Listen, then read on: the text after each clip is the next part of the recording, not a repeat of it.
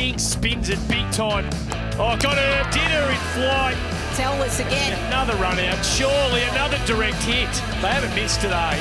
Melbourne Stars had a up and down season last year, finishing seventh. They've gone away. They've recruited well, particularly in the bowling stocks. Knocked her over. Holly Ferling, girl from Queensland, is now moving down south.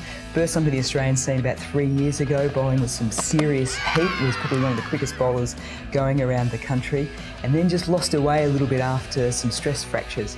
She's uh, now fit, uh, hopefully bowling very, very fast, and will be a key bowler for the Melbourne Stars this summer. Bowled right through the gate. What a great wicket by Holly Ferling.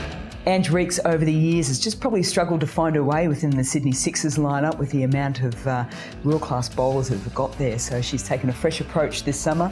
She's come down south to, to Melbourne. I think she'll work with Kristen Beams as another leggy to learn off her and develop her art, and she'll be one of the key bowlers for the Stars.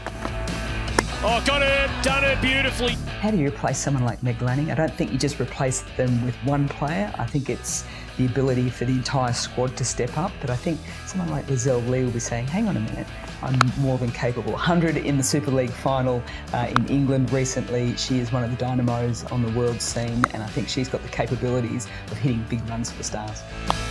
Wow, that is huge.